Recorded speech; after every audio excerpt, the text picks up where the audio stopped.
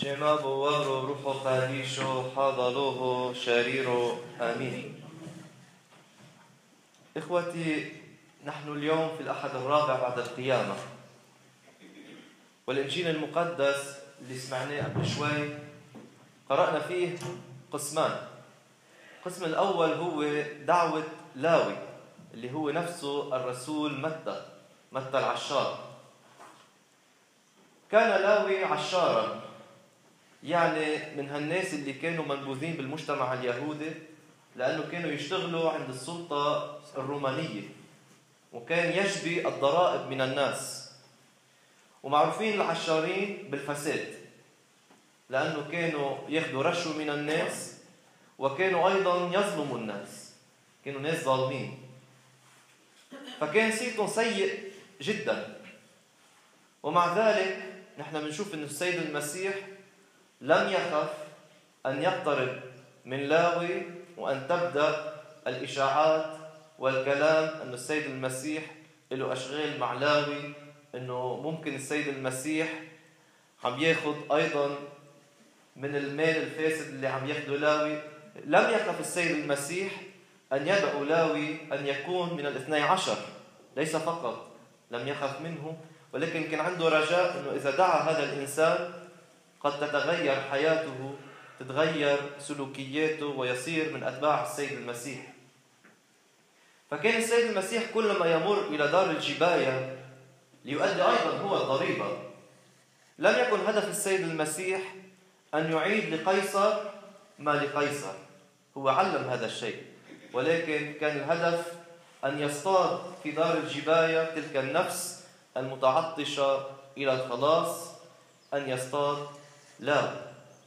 فكان بمروره لعنده بالكلام معه ممكن بنظرة ألقاها على لاوي. كان هذا سبب أن يجذب فيما بعد لاوي ويصير من أتباع السيد المسيح. قال له السيد المسيح كلمة واحدة. في الإنجيل اللي قريناه كلمة واحدة. اتبعني. هذه الكلمة قديش مهمة وقديش كان لها الأثر في قلب لاوي. سمعناها الأحد الماضي. الأحد الثالث بعد القيامة قالها السيد المسيح لبطرس. وقال له بعد القيامة. أكيد كان لها في بداية دعوة بطرس. ولكن بعد القيامة كان لها أهمية كبيرة. بطرس كان يريد أن يسبق السيد المسيح إلى الصلب. أن يقدم نفسه على السيد المسيح. قال له حاشا لك يا رب. وقت قال له السيد المسيح إنه سوف يسلمونني وكذا وإذا تركك الجميع أنا لا أتركك. وكان هو مستعد أن يموت من أجل السيد المسيح.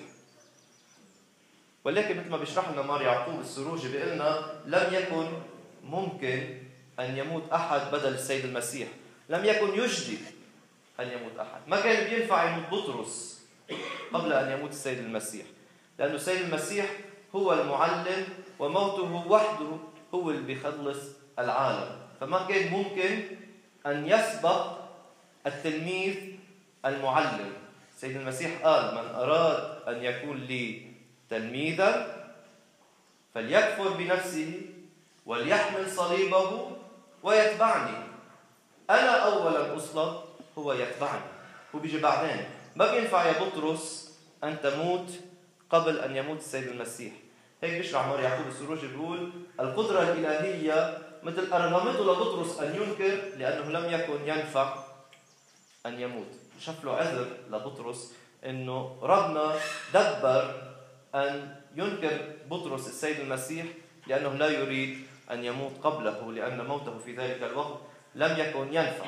ولكن بعد أن مات السيد المسيح وقام في ذلك الوقت بطرس عليه أن يتبع السيد المسيح.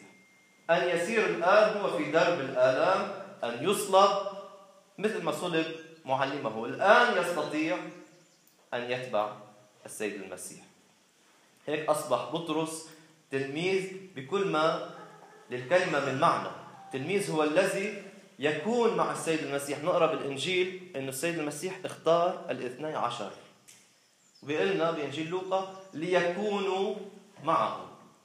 فإذا من هو التلميذ؟ هو الإنسان الذي يكون مع السيد المسيح ويتبع السيد المسيح في طريقه أي يحمل صليبه ينكر نفسه ويتبعه. هذا الشيء اللي عمله متى العشار. متى يلي التصق باسمه لقب العشار. ما كان في خجل أن يكتب متى إنجيله ويدون اسمه في إنجيله ويقول اختار السيد المسيح 12 رسول وبحط أساميهم وبحط اسم دائما توما قبله. توما اللي كان شكاك حط له اسمه بلستة ال 12 قبله وهو دائما مع اسمه لقب العشار يلي في العقلية اليهودية تساوي الفاسد. لأنه مثل ما حكينا هالعشارين كان صيتهم فاسد. فدائما متى أو لاوي العشار؟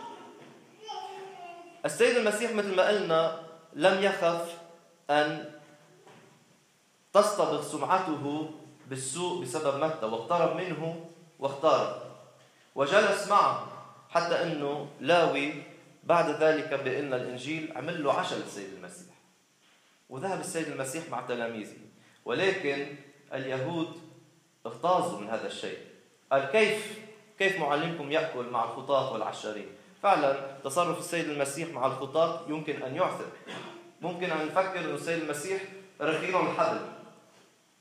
شوف بطرس أنكر السيد المسيح وكيف بكلمة سامح بنشوف كيف اللص على الصليب كيف أيضا السيد المسيح قال له اليوم تكون معي في الفردوس لمجرد أنه طلب أن يذكره في ملكوته. بنشوف الخاطئة كيف إنه السيد المسيح اذهبي ولا تخطئي بعد. كيف حرر من ظلم المجتمع اللي كان جاي بده يرجمها لهذه الخاطئة قال اذهبي ولا تخطئي ثانية. سيد المسيح أعطى هذه المغفرة وصاروا هالأشخاص مثال لنا في التوبة إن كان الخاطئة واللص والعشار. دائما بنذكرهم بصلواتنا صلوات التوبة بطقوسنا بنقول أ مخسو وكسو وحاطيتو وجايوسو. مثل العشار واللص والمرأة الخاطئة اقبلنا يا رب افتح لنا باب التوبة. طبعا بطرس كمان سمعان بطرس هو مثال كبير لنا في العودة إلى الرب. ولكن الفريسيين لم يكن يقبلون أن السيد المسيح يأكل ويشرب مع هذين العشارين لأنه بعقليتنا الشرقية الذي يأكل ويشرب مع شخص آخر يعني في بينه وبينه خبز وملح في شركة في صداقة ليس مجرد عزيمة خارجية. الفصح اليهودي كانت من قواعده أنه لا يجوز أن تأكل الفصح اليهودي مع شخص غريب. هيدا فصح مقدس للرب ما بيجوز شخص غريب يأكل معك قديش كان في نوع من حميمية في العشاء وفي الأكل معا. فإذا السيد المسيح عندما يأكل مع الخطاة والعشارين كان هذا الشيء يعثر اليهود. فالسيد المسيح قال لهم ليس الأصحاء بحاجة إلى طبيب ولكن المرضى بالتالي أنا لم آت لأدعو صديقين بل خطاة للتوبة. إذا أنا كنت أقترب من هؤلاء الخطاة عم بيقول لهم أقترب لأدعوهم للتوبة. وهذه الكلمات هي سؤال يسأل لكل إنسان. هل أنا أحصي نفسي مع المرضى؟ أم مع الأصحاء مع الصديقين أو مع الخطاة المدعوين إلى التوبة. الإنسان بحس حاله هو إنسان صحيح صديق بار هو بالتالي إنسان مريض ولا يشعر بمرضه. ولكن الإنسان الذي يحصي نفسه مع الخطاة ومع المرضى فهو الإنسان المستعد أن يأتي يسوع إليه أنا لم آتي إلا لأدعو الخطاة والمرضى. فإذا إذا كان الإنسان يريد أن يأتي يسوع إليه يجب أن يحصي نفسه مع المرضى والخطاة المدعوين إلى التوبة. هون السيد المسيح بعد ما اجت الانتقادات لإله ولتلاميذه قالوا له ليش تلاميذ يوحنا يصومون وليش تلاميذك لا يصومون؟ تلاميذ الفارسيين يصومون تلاميذك يأكلون ويشربون. السيد المسيح قال لهم كيف تريدون من بني العرس أن يصوموا ما دام العريس معهم؟ حين يرفع العريس يرفع العريس عنهم حينئذ يصومون. كيف بدكم بفرح أن يصوم أهل العرس؟ حدا راح على عرس وشاف انه مقدمين أكل صيامي أو أكل عادي جدا؟ بالعرس بيكون في مأدبة بيكون في فرح. العالم تاكل وبتشرب وبتفرح. وهيك أيضا ما دام العريس اللي هو السيد المسيح مع التلاميذ ليس هذا وقت الصوم. ولكن متى رفع المسيح وصعد إلى أبيه حينئذ تبدأ مسيرة الجهاد في الكنيسة والأصوام والنسك والتقشف التي يفعلها الرسل.